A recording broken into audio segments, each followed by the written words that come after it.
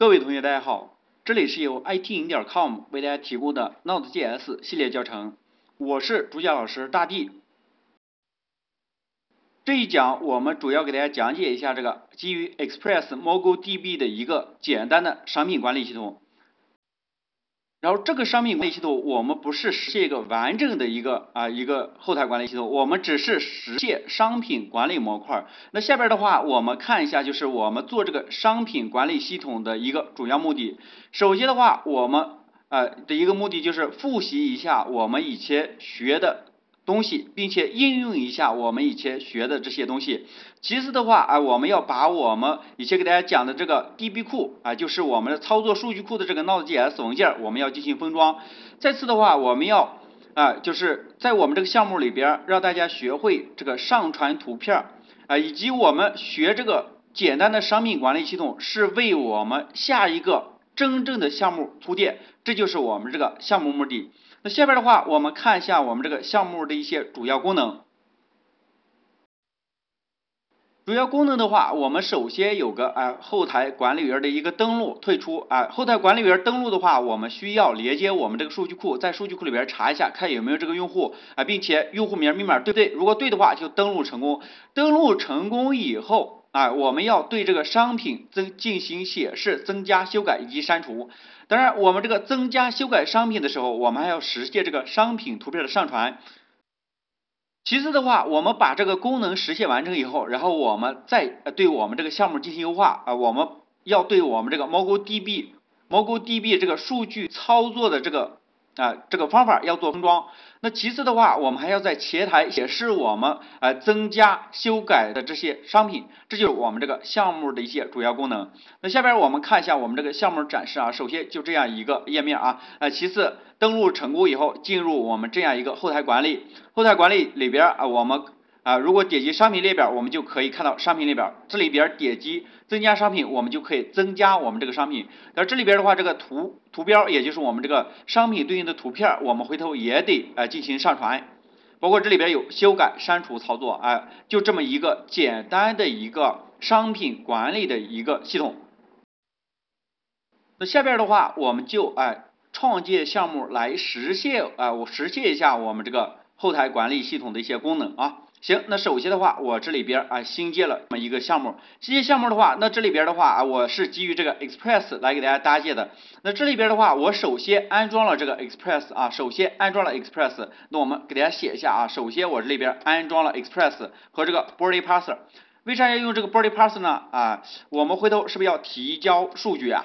啊，提交数据，提交数据要用到，或者我这里边先把它删掉啊。我们看一下，我先把啊最基础的 Express。给大家写好，行，这就是我们这个 Express 框架，哎，那下边的话，我们搭建我们这个项目啊。当然，你这个要引入 Express，Express 是不是也得安装？行，那你这时候看一下，我们先运行一下我们这个项目，我看一下先对不对啊？我们看一下对不对？哎，那这时候它报错，报错是因为啥呢？它告诉我这个端口接听失败，那我们这里边换一下端口啊，叫三零零三，再重新来一下。哎，那这时候的话，我们运行一下，看一下啊，我这里边输入三零零三，走，它这里边给我报了个错误，啊，告诉什么呢？告诉我们这里边这个 render 找不到啊，这是我们用了 EJS，那我们 send 一下，行，那再重新来一下，然后再重新运行一下，行，那这时候我们这个 Express 这个哎 Express 框架就搭建起来了啊，搭建起来以后，那下边我们看我们这些功能啊。首先的话，呃，我们有一个用户登录的一个功能，对吧？用户登录，哎，那行，那下边的话，我们定一个什么呢？是不是定义一个登录的一个路由啊？啊，登录。但是我们首先先这样写啊，回头我们要对我们这些路由以及模块进行封装。我们首先这样配置，login 啊，login 页面，对吧？那我写是一个 login。那其次，那下边还应该有啥呢？那我们看一下，有 login 啊，还有个什么呢？还有个商品列表，对吧？商品列表。商品列表的话，那我就写一个，直接一个 product 啊，product，p r o d u c t 啊，这就是我们这个商品列表，对吧？商品列表，那下边还应该有谁呢？你看一下啊，是不是还应该有啊？这商品列表还应该有，是不有增加商品、增加商品和修改商品啊？所以这时候我们再配置其他路由啊，比如说我这里边有个 product add 啊，叫增加商品，对吧？啊，我就都小写吧啊，product add，还有什么呢？还有我们这个 product edit，edit 啊，还有就是我们这里边有什么呢？有一个 product delete，d l e t e，删除对吧？d l e t e 啊，e t e。行，那这是我们看一下啊，我们这个对不对？比如 product 就显示我们这个商品列表，product 列表列表。然后这里边写什么呢？增加商品啊，增加商品。然后这里边写编辑商品啊。我们首先把这个路由搭建出来啊，路由搭建出来。行，那这里边的话啊，我就不备注了啊，回头大家写代码啊，备注一下啊。我们先这样写，大家回头会发现一些问题，然后我们再进行优化啊。行，那这是我们重新启动一下我们这个项目，运行一下，给大家看一下啊。那首先的话，我们哎跑到首页走。啊，index 没有问题啊。那首页的话啊，首页啊，首页我们回头是不是要跳转到 login 啊？那我们先不管它啊。然后 index 点 login，输入 login，l o g l o g i n login 走，login 没有问题吧？登录对吧？当我再输入这个 product 啊，商品列表，然后 product add 哎，增加商品 product pro product 一个 edit edit 编辑商品，还有 product 什么呢？是不是 delete？D l e t e，哎，d e l e t e 走啊，怎么 login 呢？啊，确实 login 啊，行啊，那这时候是不是就搞定了啊？因为它这里边是不是没有改这个文字啊？那这样的话，我们路由就配置成功了。配置成功以后，我们想的是啊，如果你啊，你这里边进来 login 页面，我们要加载谁呢？是不是要加载这样一个登录的一个啊，登录的一个模板啊？所以我这时候我是不是要？把这些就是正常我们写后台啊，或者是我们呃我们用 Node.js 或用 PHP 或者用 Java，哎，就是套我们这个数据的话，我们需要这个静态页面啊，需要我们这个静态页面，我们需要在这个静态页面上做操作。一般的话，后台程序员他很少去写这个页面的。当然，如果我们是既会前端又会 Node.js，那这时候那个前台页面也需要我们写啊。当然，这里边我已经写好了，我们就不带大家去敲这个 CSS 了啊，这个非常简单。行，那下边我们把我们这里边写好的这个呃代码给大家运行一下啊。仔细看一下啊，我这里边的话已经有写好的一个静态页面啊，就是重静态页面啊，重静态页面啊，基于 Bootstrap 的一个静态页面。你看一下，如果 login，啊，这是不是就是一个登录页面啊？当然这里边有错位啊，我们一会儿再看再调一下。这就是我们这个登录页面。那同理，这里边还有什么呢？还有什么编辑页面对吧？啊，add 编辑页面对吧？或增加页面。那下边的话，我们就用这个静态页面啊，这是从 HTML、CSS 静态页面，也就是前端写好的页面，然后我们来搭建我们这个 Node.js 后台管理系统啊。行，那这时候的话，哎，那要想一想啊，我们。回头如果到这个 login 页面，我是不是要渲染模板？渲染模板就是我们要加载我们这边 login 这个 HTML 代码，对吧？那渲染模板的话，我们是不是要用到我们这个模板引擎啊？我们学过一个模板引擎叫什么呢？是不是叫 EGS 模板引擎啊？啊，EGS 模板引擎啊，EGS 模板引擎。所以我们要用到这个模板引擎，要用模板引擎，你首先第一步要干啥？是不是要安装这个模板引擎啊？行，那这里边的话，我已经安装了这个 EGS 啊。啊，要安装我们这个 EGS 啊，啊，安装就是 cnpm install EGS 杠杠 c 五，我就不写了啊，这讲过好多次了。然后第一步安装完成以后啊，我们说 EGS 的话，你在 Express 里边你不需要引入，直接用啊，通过我们这个 app 点 set 一个 set 一个 view engine 啊，y e w v u e n g i 等于 view engine，然后写个 EGS EGS。这表示使用我们这个 EGS 模板引擎啊，啊，使用 EGS 模板引擎。行，那这时候的话，我们就可以用了啊。行，这样的话 EGS 就 OK 了。OK 以后，哎，那我们在 login 页面我们做操作。那这时候我们就不是 set 了，我们得干啥呢？我们什么 res res 点 in render in 点 render render 要干啥呢？是不是要渲染我们这个静态页面？渲染谁呢？是不是渲染我们这个 login 页面？那 login 页面的话，你这样设置我们这个 EGS 以后，它默认加载谁呢？啊，是吧？默认这样的话，EGS 默认找 VIEWS，哎，这个这个什么呢？这个目录啊，就在这个目录下边去找我们这个 login 点 EGS。所以下边的话啊，我们要新建一个 VIEW 的一个啊 VIEWS 的一个目录，VIEWS views 是表示我们这个 EGS 的一个。视图展示区域啊。当然你也可以改变我们这个 EGS 默认显示的目录啊。当然我觉得这样就 OK，如果你想改也可以改一下啊。那这样的话在里边我新建个什么呢？我新建我们这个哎 login 点 EGS，login 你看一下啊，我新建一个 EGS 文件，写个 login，走一下哎，那行你看啊，我写个你好，这是登录页面啊。那我们看一下能不能加载我这句话啊？这样的话我一个模板就定义好了啊，就这么简单。那你看一下啊，我们重新启动一下，一定要注意啊，重启。然后这里边我们刷新一下啊，看我们这个项目在哪儿，在这儿对吧？走一下，哎，product delete，然后我这里边输入 login，走，哎，是不是出来了？虽然乱码了对吧？乱码，哎，我们知道，哎，我们知道是因为这里边是吧？编码不对呀，啊，改一下编码，然后你再重新保存一下，再重新来一下，走一下。我们改这个模板是不需要重启啊，我们改这个后台这个 Node.js 代码，我们需要重启。是吧？你好，这是登录页面就 OK 了。OK 以后，那下边的话我们要干啥呢？我们是不是要把我们写好的这个 login 页面是不是拿过来啊？当然你这个 login 页面的话，那这里边它是不是又加载了一些啊？加载了一些我们这个静态的什么 CSS 或者是图片对吧？我们看一下，那这里边的话，它是不是就哎？加载了这里边的 CSS 和啊 JS 文件啊，所以我们首先这样啊，我们首先就把它原封不动的先拿过来啊，你看一下，我们首先把它拿过来啊，就把我们这个刚才的这个 login 页面就在我们这里边这个这个 login 页面对吧？打开以后在这儿刚才卡了一下，然后我们拿过来，拿过来放到哪儿呢？放到我们这个页面里边，放到这以后你仔细看了啊，我们这时候我们刷新一下，走，是不用户登录啊什么密码是不是就出来了？啊，它是哪里的呢？是不是就是我们这里边定义的？当然这里边定义的，我这个静态页面页面它加载了谁呢？是不是加载了这么多 CSS 以及加载了 JS 啊？那这时候的话，它加载了谁呢？是不是加载了这里边的这几个静态文件？那这时候我们是不是要放这个静态文件？那静态文件放到哪儿呢？啊，那问题了，有些同学说放到 views 下边对吧？那肯定不合理。所以这时候的话，哎，我们又可以哎新建一个文件夹叫 public public publics。啊，那这个文件啊，或者我就叫 public 对吧？public 这个文件是干啥的呢？这个文件就是放我们这个静态资源的一个文件夹啊。那你仔细看了，那这时候我把这个静态资源都拿过来啊，我就放到这儿。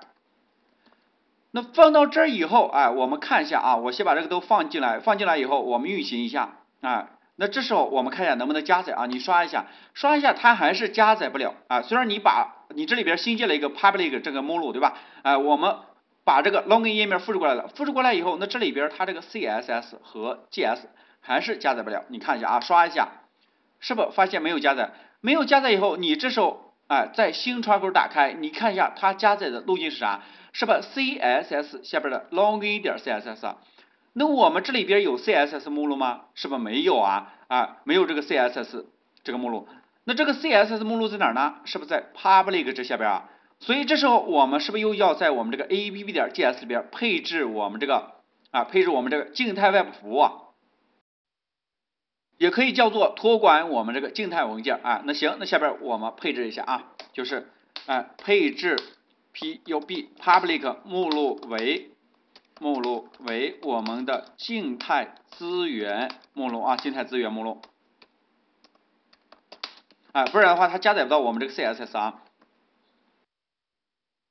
那我们写一下 a p p 点 u s e 啊 u s e use 然后 e x p r e s s express 点 s t a 啊 static，然后这时候我们配置谁呢？配置我们这边的 public 目录。行，那这时候我们看一下啊，我们配置这个静态目录配置完成以后啊，那我们再看一下啊，来运行一下，运行以后，那我们再刷一下，看对不对啊？刷一下，你发现 css 是不是可以加载了？你既然可以在这访问，那同理你在这刷一下，大家看一下，我们这个登录页面是不是就 OK 了？哎，login 的时候是不是 login 页面就出来了？啊，那行，那我们再看一下，login 就出来了。出来以后，那下边的话，哎，我们点击登录，哎，我们这功能先不做，我们先把这个页面搭建起来。那如果我下边的话输入这个 product list，哎，product 一个叫就输入 product 啊，走，哎，我是不是要显示商品列表？商品列表这个页面，那我要找到谁呢？是不是要找到我们这里边的这个 index 点里面啊？对不对？所以你看一下啊，那这时候的话，我就再把 index 点 html 拿过来，我改成 index 点 EJS。然后这里边的话，它也引入了这个 Bootstrap 下边这个 CSS 啊，因为我们刚才已经配置了静态外部服务啊，也叫托管的静态文件，所以它可以直接在 Public 目录下边找到啊。那行啊，那这样就 OK 了。OK 以后，那下边我们要做的就是啊，就是 render 对吧？就是在我们这个商品列表，我们不是直接显示了，我们 render 一个谁呢？render 一个啊叫 product 啊，P R O D U C T 啊。那同理，我们这里边要改一下啊，不叫 index，我们叫 product 点 e g s。那再仔细看一下啊，再仔细看一下，那我们刷一下啊，没反应，没反应，那我们重启一下，重启一下啊，那你再看一下，刷一下，OK 吧？啊，是不是就 OK 了？我们这个页面。那这样的话，这个 Product 的页面就配置好，配置好以后，那下边我们再继续，那同理，大家猜也能猜到，是不是还差一个 ADD 页面啊？啊，叫 Product ADD 啊，P R O D O C T，Product Edit 和 ADD 啊，行，都一样的。哎，product edit 和 product p r o d u c t 一个 a d d，行，那我们赶紧改一下这里边的内容啊，product a d d 啊，那这里边就是呃增加商品对吧？啊，这叫增加商品，然后这里边叫编辑商品，啊，我们先把这几个名字稍微改一下，这叫编辑商品。行，那这时候我们运行一下，看对不对啊？当然这里边引入的 CSS 是不是我们都在这里边托管了？所以它直接能加载到啊。那你这时候看一下，刷一下。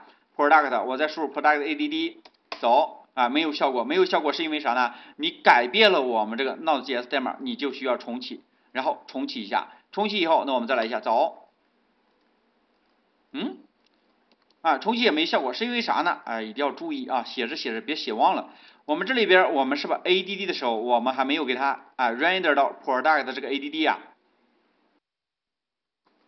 Product add，然后同理这里边 edit 我们 product edit，行，那再重新来一下啊，再来一下啊，render 表示渲染模板啊，一定要注意这里边这个 HTML 还要改成这个 EJS 啊，EJS 啊，然后这里边也是改成这个 EJS 啊，EJS，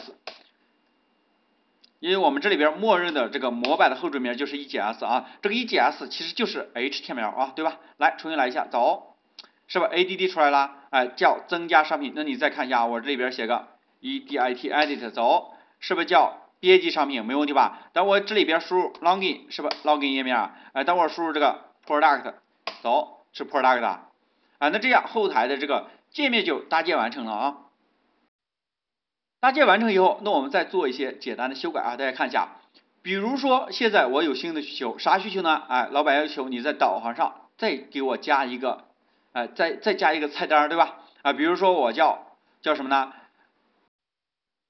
叫文章管理，对吧？要在这加个菜单叫文章管理。那你这时候看一下啊，那这时候文章管理，你是不是要在我们所有的菜单里边啊？要注意，我们所有的页面啊，所有的页面啊，product list product add list 是不是 product 这个哎 product 还有 product add 所有的页面是不是都有我们这个文字啊？所以你看一下啊，如果你要改这勾勾的功能，很痛苦啊，我们就给大家改一下。比如说我们在这里边啊，你要加个什么呢？你要在上边是不是加个菜单？哎，加个我们叫什么呢？叫文章管理啊，文章管理。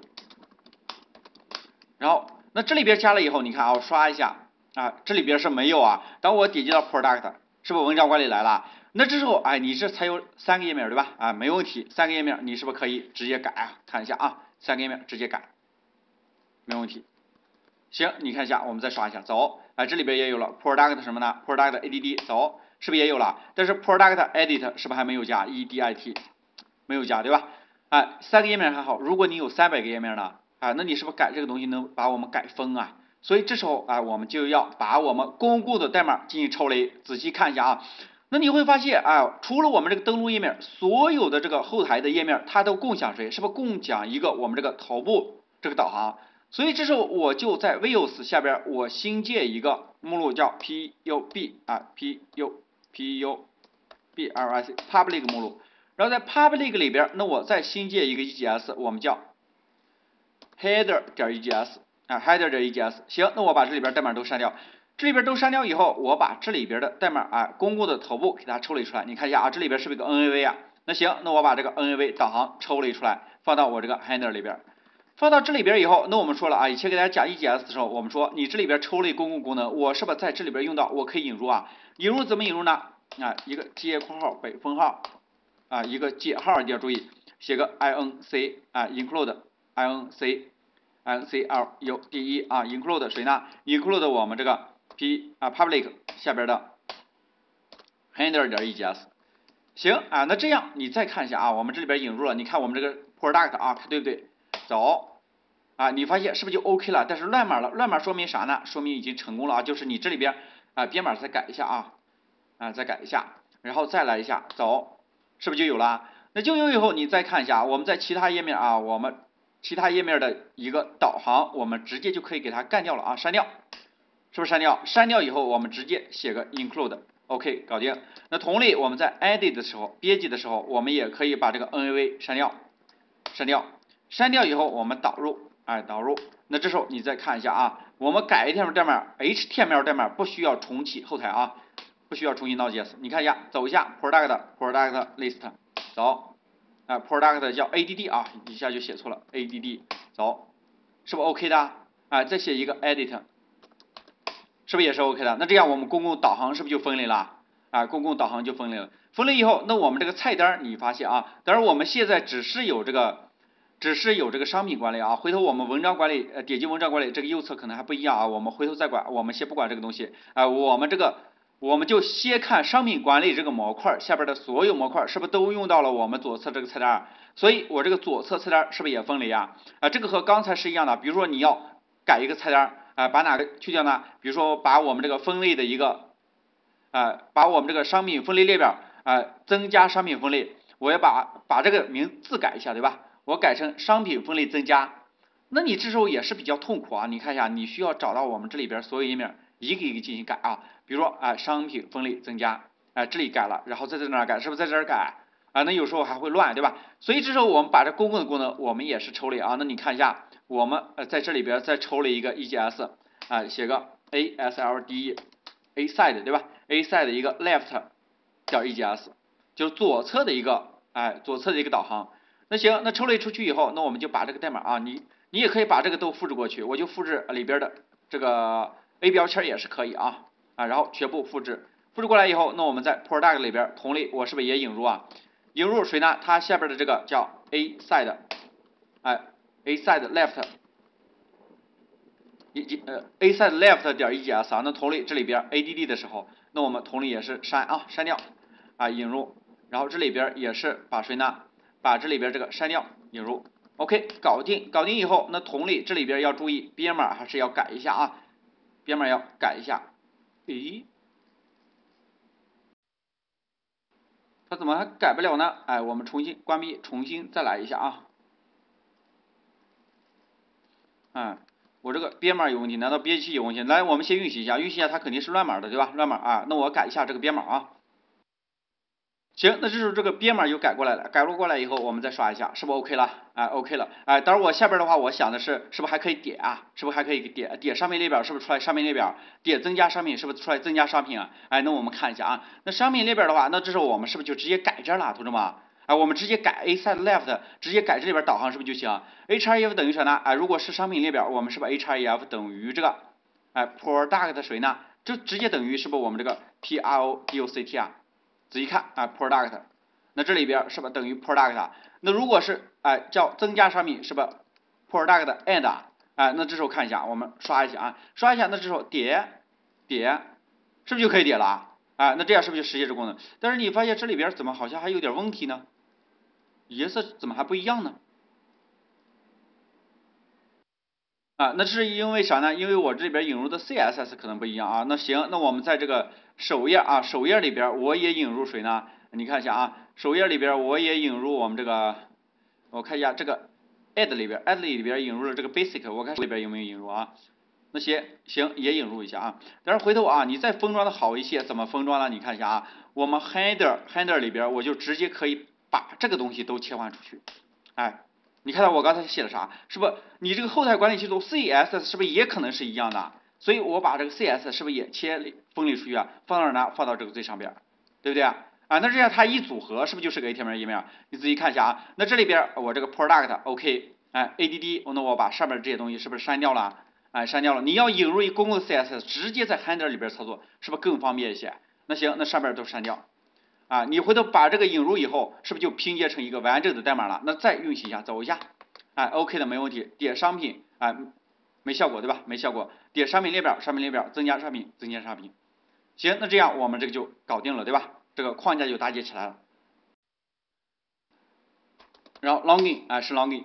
那框架搭建起来以后，哎，那下一讲的话，我们给大家讲啥呢？我们给大家讲这个登录啊，你这里边只有登录成功以后。你才能进入哪？是不是才能进入我们的后台管理系统啊？如果你直接在 URL 里边输入，你是没法进入的啊。正常后台管理系统是不是都是这样的？我们啊，如果直接访问这个地址啊，没有登录是访问不了的。哎，我们需要做权限判断。哎，如果你这里边登录完成以后，那比如说他有用户信息，那我们是不是才让他访访问我们的后台管理系统啊？啊，那行，那这一讲的话，我们就先讲到这里啊。